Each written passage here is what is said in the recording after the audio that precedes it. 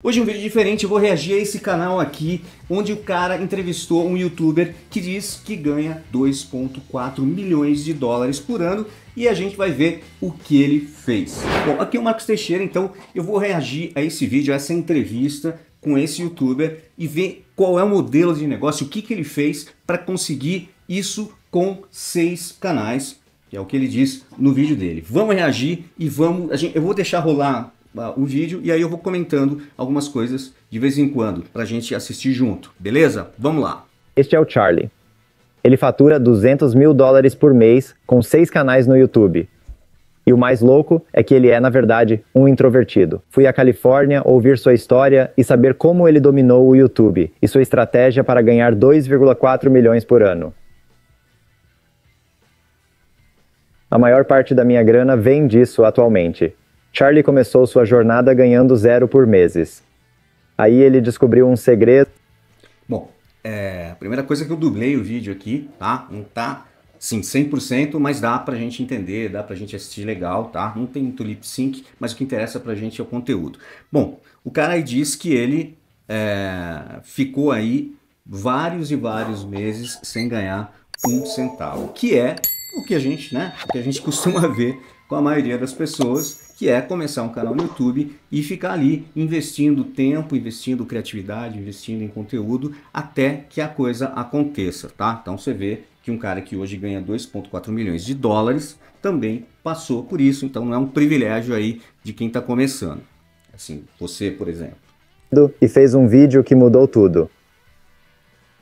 Um vídeo mudou No tudo. próprio vídeo, a gente usou muito. É assim que você faz as pessoas clicarem e assistirem o vídeo inteiro. Neste vídeo, ele revela o plano para qualquer um ganhar 200 mil por mês no YouTube, como criar vídeos que viralizam e dá dicas para quem está começando como empreendedor. Bom, é isso né, que a gente quer saber, é isso que é, a gente busca nesses caras, nesses cases de sucesso, né, nessas pessoas que descobriram alguma coisa e que de repente isso possa ser replicado pela gente aqui, né, pobres mortais. Vamos lá. Eu foco não só em fazer vídeos virais, mas sou Pat Walls e este é o Starter Story. O Starter Story é esse canal, tá, que eu tô onde eu tô pegando esse vídeo aqui. Eu vou deixar também o link desse canal, porque o cara faz várias entrevistas e tal. É bem legal. Dá pra você pôr legenda, tranquilo. Valeu por me receber, cara. Seu lugar é demais. Obrigado. Valeu por ter vindo. Fale sobre você e o que criou. Sou Charlie, tenho 31 anos e sou empreendedor no sul da Califórnia. Atualmente tenho mais de seis canais no YouTube. Num mês típico, faturamos de 200 a 250 mil dólares. Este mês tivemos nosso melhor resultado até agora. Vamos chegar perto de 300 mil. Isso é só dos canais do YouTube. Já a empresa de recrutamento. Gente, 200 mil dólares por mês. Ele diz aqui que esse é o melhor mês, eles vão chegar aí aproximadamente 300 mil dólares. 200 mil dólares por mês, a gente sabe que o câmbio de hoje, deixa, é, deixa eu até dar uma olhada aqui, ó. Bom, tá aqui, ó, 200 mil dólares, o câmbio de hoje, ó, tá 6.01, o câmbio hoje deu uma estourada legal é, 200 mil dólares daria aqui, ó, 1 milhão 202 reais por mês. Tá bom para você? Começamos ano passado. Fatura seis dígitos baixos, mas foco nela para crescer e talvez ser comprada um dia. Então, ele também criou uma, uma empresa, né, um site, né, uma startup sobre recrutamento é, de pessoas, provavelmente recrutamento para pessoas trabalharem aí no mercado digital. Interessante. Certo, pode detalhar mais sobre seus canais, negócios e como ganha dinheiro? Meu canal principal se chama Charlie Chang, meu nome. Temos acho 1,1 milhão de inscritos. Outro canal chamado Sarpwise tem uns 50 mil inscritos. Temos também Charlie Chang Show e The Penthouse. Meu primeiro site. Ó, você vê. Ele tem um canal que é o principal, um milhão e, e pouco e tal, um milhão e cem mil uh, inscritos. Depois ele tem um canal ali com 75 mil, que não é nada demais. Depois mais um, né? Então você vê que não é assim todos os canais estourados, tipo MrBeast, não. Ele tem lá um canal que realmente deu certo e os outros são canais legais, mas aparentemente não são fora, tão fora da curva. Bom, aqui ele está continuando. Que acabamos de lançar. Tem uns 600 inscritos até agora. Hoje, a maior parte da minha renda vem do marketing de afiliado. Então, você viu, ele falou, falou de mais um canal aí de 600 mil inscritos, que já é legal, né? Tá ali em segundo lugar, vamos dizer assim. E aqui ele tá falando, né? Começando a falar que ele foca e começou aí com, continua focando em mercado de afiliados. Diria que representam 50 a 55% da receita total. Também fazemos parcerias com marcas. Isso geralmente fica em torno de 20, 25%, e o AdSense também fica por volta de 20, 25%. Olha só, ele deve ganhar um bom AdSense do YouTube, né? Pelo, pelos anúncios e tal, para o canal ser monetizado. Não imagino quanto aqui, eu nem vou entrar lá no site para a gente dar uma olhada. Deve, deve faturar bem né? de, de, pelo YouTube, mas ele faz parcerias e tal, né? Como a gente sempre fala aqui, tem que fazer parceria, tem que é, afiliado e tal, né? E aqui ele fala que, por exemplo, a parte aí do AdSense corresponde a 20% desse ganho dele, né? Então, é, ele não foca, mesmo lá nos Estados Unidos, ganhando um valor muito maior do que o nosso, assim, sei lá quantas vezes maior do que o nosso por mil visualizações, ele não foca no AdSense, ele foca em outros negócios, outros collabs, né, colaborações, parcerias. Então, ele, o AdSense acaba ficando ali com 20%. Isso considerando todos os canais diferentes. Você é assinante do Starter Story, né? Sou sim, há uns seis meses, eu acho. Legal. O que você gosta ou como você usa? Acho que meu sucesso se deve muito ao tempo que dediquei a pensar, aprender e observar os outros. Por isso vejo tanto valor no Starter Story, são estudos de caso incríveis. Me ajuda a ficar por dentro das tendências, permite ver como outras pessoas fazem. Vejo quase como uma mentoria. Tá aí, esse canal que eu achei esse vídeo que eu tô reagindo aqui. Eu vou deixar esse canal aqui na descrição. É bem legal, ele mostra tendência, ele entrevista pessoas, mostra as, é, como as pessoas chegaram àquele resultado. Super recomendado aí. Conte como era a sua vida e como virou empreendedor. Cresci numa família não empreendedora. Meus pais queriam que eu fosse médico. Fui para a faculdade sem saber o que fazer. Depois de formado, não conseguia emprego de jeito nenhum. Então comecei a trabalhar por conta própria.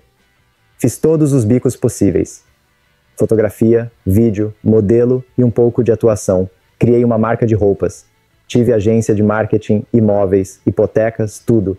Foi difícil, pois após me formar, ganhava zero. Ver meus amigos com empregos bem pagos de contabilidade não me fazia sentir bem. Eu me sentia meio fracassado.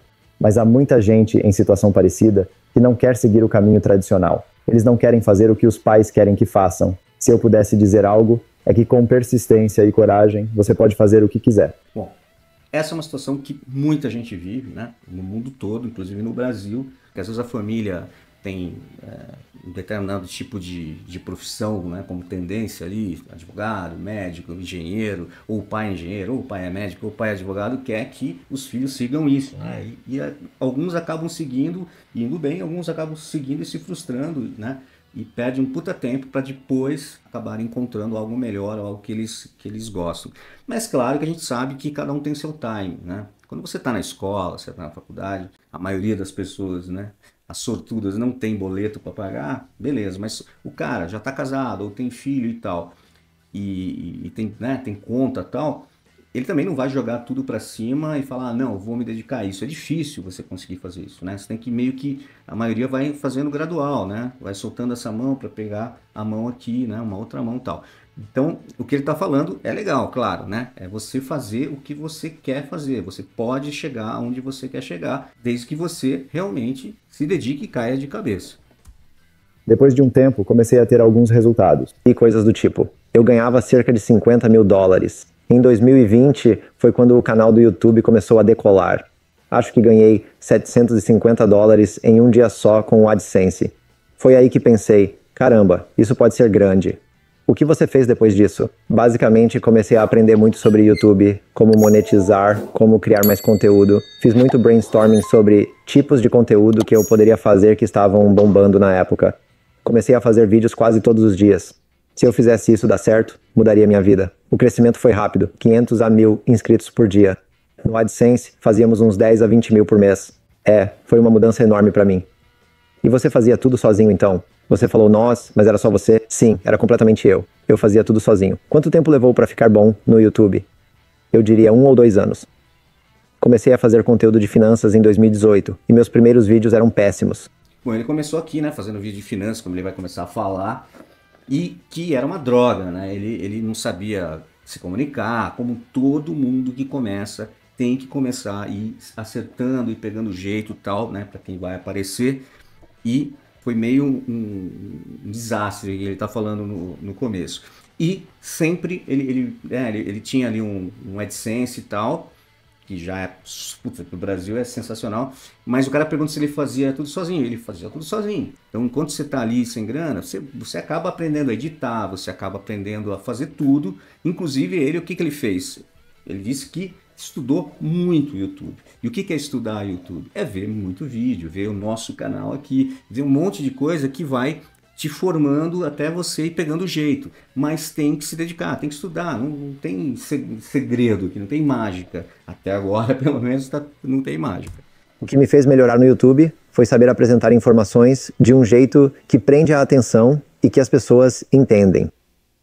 O público do YouTube não é técnico, então você precisa explicar tudo de forma bem simples. Mesmo sendo introvertido como eu, sem talento natural para câmera, dá para ficar bom nisso. Viu? Então, assim, ele, ele era super introvertido, né? O cara tinha vergonha, tímido, mas com o tempo ele ficou bom. Com o tempo. Então não adianta querer, né? todo mundo é afobado, quer criar o canal hoje, quer que ele story, viralize em três dias, e um mês está monetizado, e no outro você tá, virou um influencer, né? Não é assim. Infelizmente, muita gente promete isso, é, curso e tal, mas não é exatamente assim. Acontece? Lógico que acontece, fora da curva. Mas eu estou falando de, do, da média, do, do, mundo real. Então ele começou ali ruim, né? Sem, sem ter muita prática e foi melhorando. Então é isso que ele que ele que ele está falando aqui. É, que dicas você daria para as pessoas melhorarem enquanto fazem mais vídeos? Diria que é importante melhorar a qualidade, câmera, áudio, narrativa, essas coisas. Bom, aqui eu concordo e discordo até um, um, um certo ponto. Claro que quanto mais qualidade você tiver, melhor.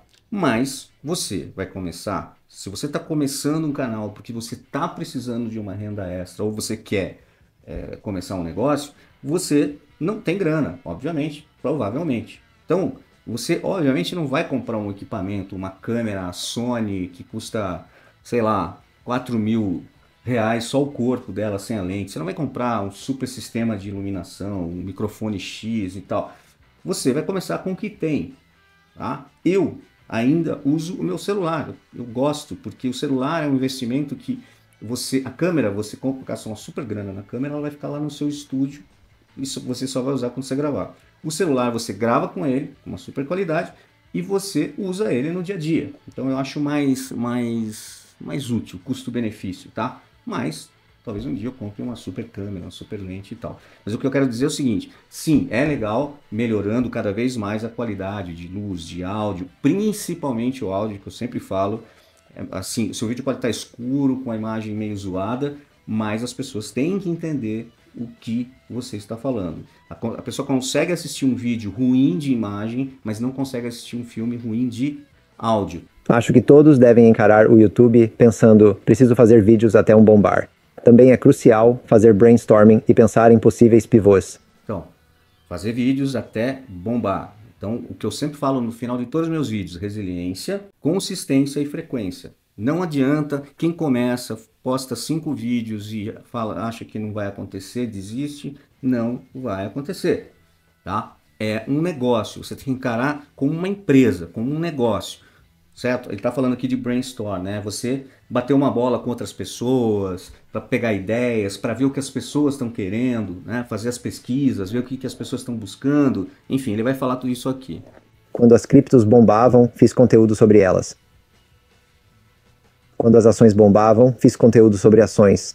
Quando os bicos bombavam, fiz conteúdo sobre bicos.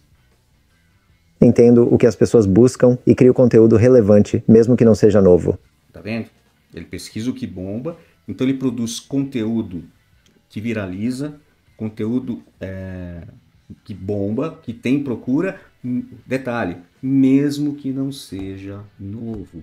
Tem a, internet, ou principalmente o YouTube, não existe o óbvio. Eu já falei isso aqui em vídeo. Você não, não, é que todo mundo conhece, sempre vai ter alguém que sabe menos que você, sempre vai ter alguém que precisa de uma informação básica.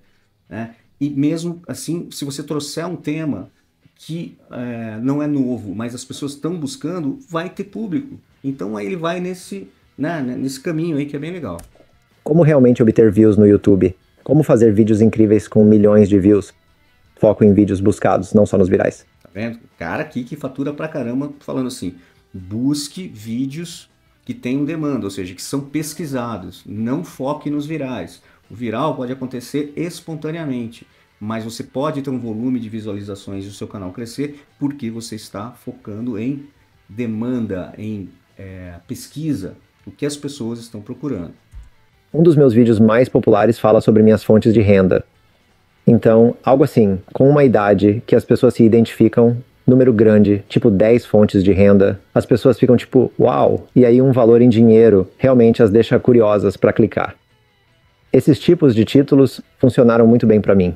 Grande parte do meu canal é conteúdo SEO evergreen. Por exemplo, como investir em ações. Faço algo assim. É algo que as pessoas estão buscando ativamente. Não foco só na viralidade. Prefiro a rota pesquisável. Sobre vídeos que bombam, fiz um perguntando aos VIPs do Coachella suas profissões. Consegui uma boa miniatura. Estava em alta porque o Coachella acontecia na época. No vídeo em si, tivemos muita narrativa. Assim fazemos as pessoas clicarem e assistirem o vídeo todo. De novo, ele investe nos vídeos pesquisáveis.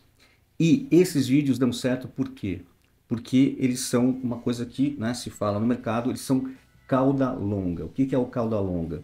É um vídeo que se você assistir hoje, ou assistir daqui um ano, ou assistir, sei lá, daqui uns meses, ele não vai estar velho. Porque aquela informação é uma informação básica para que para quem vai fazer aquele negócio. Então, quando ele falou como investir em ações, né? Isso não muda. Né? O princípio disso não muda. Vão ter vídeos mais para cá, mais para lá, ações de risco, ações assim, ações assim, mas como entender o mercado de ações para começar a investir é um vídeo cauda longa. Então é um vídeo que sempre vai ser buscado e ele viu que é muito buscado e não vai é, perder é, procura por causa do tempo. Porque os vídeos de hype, né, ou seja, que ele falou do Coachella, por exemplo, Coachella, que é um festival de música, ele estava acontecendo, então estava no hype, estava né, bombando, bombando, bombando, estava com pesquisa, papapá, deu certo. Mas ele também faz os vídeos que tem muita pesquisa, mas não tem hype. São vídeos que as pessoas simplesmente estão buscando e sempre vão buscar. Que ferramentas e softwares usa para gerir e melhorar seu negócio? Todo o nosso planejamento de conteúdo está no ClickUp.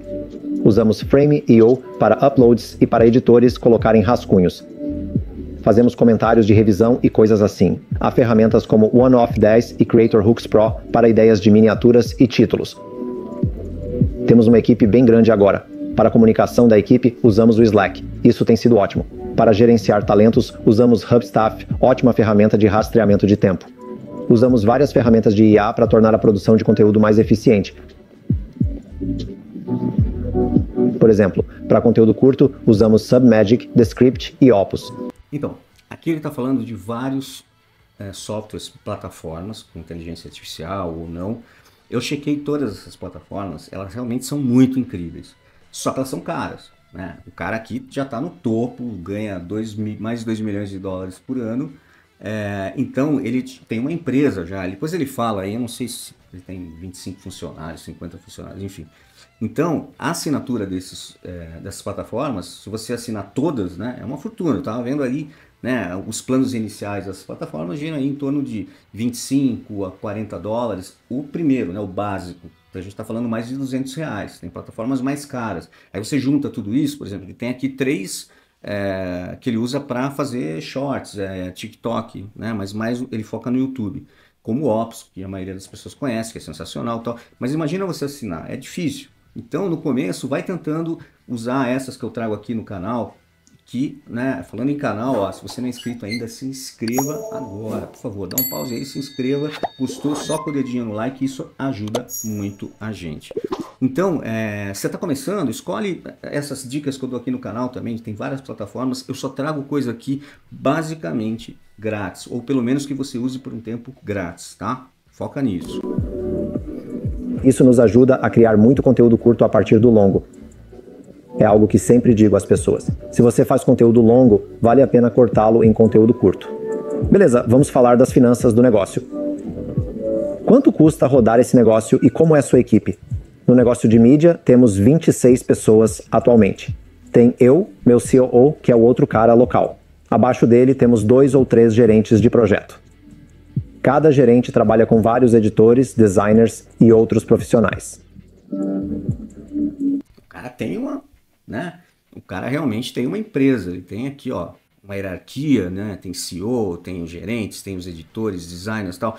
Mas como no começo, ele mesmo falou, ele fazia tudo sozinho. Ele demorou para dar certo. Não é que demorou, ele foi fazendo com o tempo, ele não desistiu. Se ele desistisse ali no primeiro canal dele, ele não estava aqui dando essa entrevista hoje. Então, ele aqui, além de encarar sempre, desde que ele não tinha nenhum funcionário, ele era sozinho, ele encarava, encarava aquilo como uma empresa, né, até chegar numa empresa realmente com todos esses funcionários aqui, 26 funcionários que ele falou. O custo mensal da equipe é de 20 a 25 mil dólares. Isso porque usamos muito talento do exterior. E como você consegue encontrar esses membros da equipe? Combinação de Upwork, Fiverr e trabalhos online. As plataformas de freelance, né? Que eu sempre trago aqui no canal, né? Uh, Orkana, enfim, todos esses que estão, que eles estão falando aqui. Mas a maioria da nossa equipe atual vem da Parade, nossa empresa de recrutamento no exterior. Vocês usam o próprio app para. Ah, sim, totalmente. É, é a combinação perfeita. Contratar no exterior é ótimo, mas achar talentos reais é muito difícil. Então temos nossas equipes de recrutamento locais. Eles avaliam de 300 a 500 pessoas, acham os melhores e os apresentam a você. Basicamente, é isso que nosso serviço faz. E quais seriam os custos para contratar alguém pela sua empresa? Cobramos uma taxa única de colocação. Não pegamos dinheiro do cliente para repassar ao talento. É uma transferência direta, economizando muito. Um profissional integral custa entre 600 e 1.000 reais por mês, na maioria dos cargos. Você tem. E a tradução fez errado. É, na verdade, de 600 a 1.000 dólares, né? Que é ali a contratação que ele fala desses, desses freelancers e tal, né? Que daí, hoje daria 6 mil reais esses canais de sucesso no YouTube e agora inicia um negócio diferente com sua empresa de recrutamento. Por que decidiu começar isso? Quero ser um empreendedor tradicional, com participação acionária num negócio. Com os canais e o marketing que tenho, faz sentido criar algo que possa usar meus canais para ajudar a crescer. Certo? Então, para quem quer entrar no empreendedorismo, o que, que deve fazer? Cerque-se de conteúdo e pessoas que estão fazendo isso. Isso faz parecer que tudo é possível. Né? Depois eu, te, eu, tentaria aprender alguma habilidade de alto valor. Há muitas habilidades que dá para aprender em poucos meses e começar a dominar. E começar a monetizar. Dominar uma habilidade. Ou você tem a habilidade já, ou você tem um hobby, uma coisa que você gosta, mas qualquer coisa hoje que você precisa aprender, você aprende de graça. Tanto em tutoriais aqui do YouTube, quanto hoje pelo chat GPT de graça, pelo Gemini do YouTube, desculpa, do Google de graça. Então não tem desculpa. Hoje você tem ferramentas grátis para você aprender sobre absolutamente qualquer assunto. Todos se constroem uns sobre os outros e te permitem ser melhor no próximo passo. Pessoalmente, nunca criei uma empresa que exigisse muito capital inicial. Acho que uma agência ou negócio de serviços é a melhor forma de começar. Outra coisa que aprendi é não tentar fazer tudo sozinho. Eu pensava em ser um empreendedor solo pelo resto da vida, mas após contratar a primeira pessoa, percebi: isso é um negócio de verdade. Então, isso é uma coisa interessante. Você, obviamente, começa sozinho, né? Você não tem grana para contratar um editor, sei lá. É, antigamente as pessoas né, ainda contratam um roteirista, tal, embora hoje você consiga né, fazer muita coisa com o Chat GPT. Mas quando se você contratar o primeiro funcionário, o primeiro editor, e ele vai te dar um alívio tão grande, ele vai te dar uma acelerada de produção, porque você já vai se concentrar em outra coisa enquanto ele faz a edição, só isso você já percebe que não é legal fazer tudo sozinho. Mas também você não vai ficar esperando ter grana para contratar uma equipe, que nem ele, para começar no YouTube. Então, é, não é o ideal, mas é o que você vai fazer provavelmente no começo. Mas assim que você experimentar ter uma pessoa ou duas que te ajudem, mesmo que não sejam pagas, pode ser um irmão, um primo, pai, mãe, enfim, o que você quiser, você vai sentir que como você cresce mais rápido, você é, tendo pessoas ali e não sendo sozinho, né? Uma, uma, banda de um homem só, né? Que a gente fala. Pois pode funcionar sem você mesmo. Não precisa estar sempre lá para funcionar. Algumas pessoas assistindo podem sentir paralisia de análise sobre qual ideia começar. Qual é a sua resposta para isso? Bem, eu diria a eles: não analise demais. Se escolher algo errado, você aprenderá com isso e não repetirá o erro. Tá vendo? Não ficar esperando, não pensar demais, não escolher demais. Ah, não, mas ainda não estou pronto. Ah, não, mas isso aqui eu não sei se vai rolar. Ah, não sei se vai dar certo. É o que ele falou. Faz, analise menos e faça mais, porque se você errar, você vai errar rápido, vai corrigir ou já vai abandonar e partir para outra.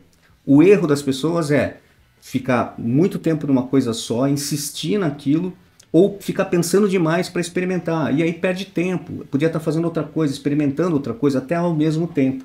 Então é uma outra dica muito legal. Se for a coisa certa, você tomou uma decisão rápida, certo? Acho que rapidez é uma característica universal das pessoas bem-sucedidas. Para quem está estagnado ou quer um grande avanço, sugiro mudar o ambiente ou a rotina completamente. O mesmo vale para a localização. Se está numa cidade onde não cresce o suficiente, mude-se para outra. Certo, me conte como é um dia típico para você. Todo dia é bem diferente, o que acho ser a melhor parte do empreendedorismo para mim. Acordo entre 5h30 e 6h30. Faço uma rotina matinal, vou à academia, trabalho um pouco e o resto do dia é só trabalhar e sair.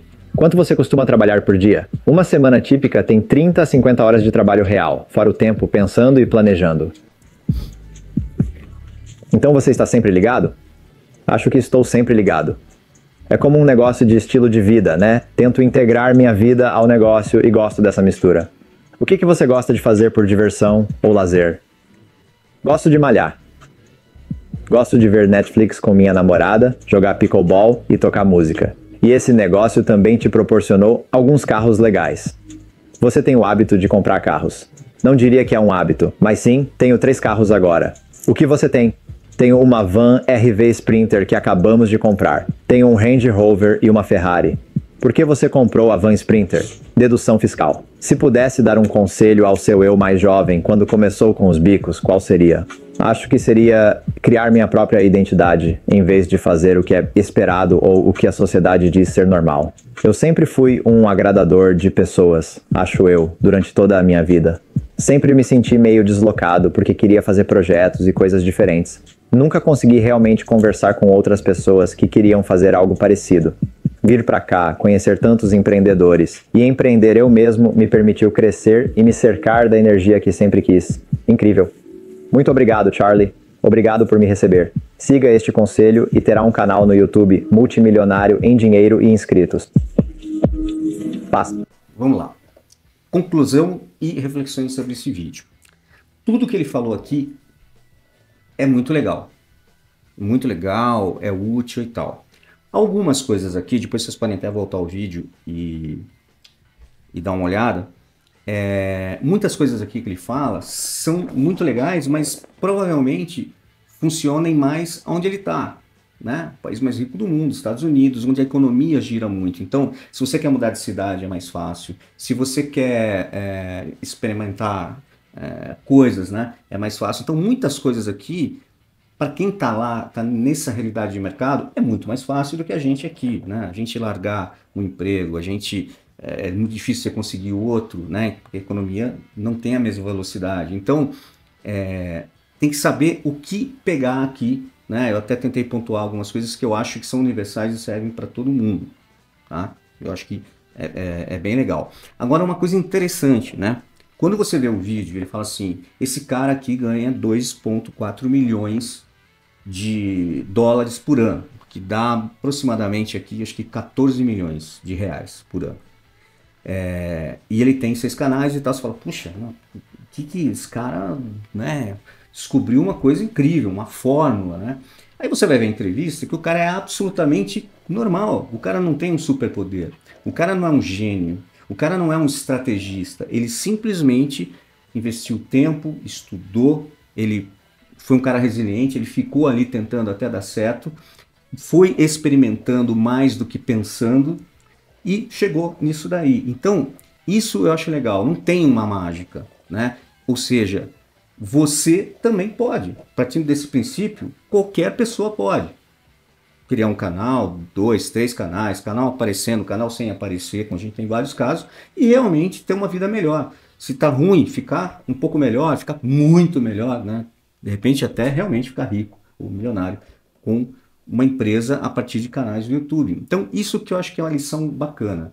Dicas muito pontuais que são super acessíveis, não tem nada demais aqui, tirando a questão lá das plataformas, né? Da que você, se for assinar no começo, você vai gastar uma puta grana, você não vai ter funcionário. O resto é super plausível, super assim, é, é fácil de fazer, porque você vai gastar basicamente o seu tempo, mesmo o equipamento que eu falei, você vai usar o seu celular, você vai comprar uma, um LEDzinho barato, você vai montar ali né, um, um soft light ali com uma lâmpada fria, um papel é, um papel na frente para ficar a luz né, mais bem distribuída, enfim, uma luminária, o que você quiser. O importante é você começar a fazer. Microfone, microfone que eu usei até pouquíssimo tempo atrás, um lapela, custa 80 reais. e as pessoas nunca reclamaram, tem uma qualidade muito boa. Então não tem desculpa, sabe? Eu acho que tem coisas aqui muito legais e mostram que ele é um cara normal. E isso é grande lição, ele é um cara normal sem nenhum superpoder. Bom, esse aqui foi o vídeo de hoje. Comenta aqui embaixo se vocês querem mais vídeos desse tipo, de onde eu vou analisar aqui cases, né? Pessoas que deram certo. Eu trago para vocês aqui dicas desses caras, a gente reage junto, a gente comenta. Se vocês gostarem querem mais vídeos assim, comenta aqui embaixo. Até mais!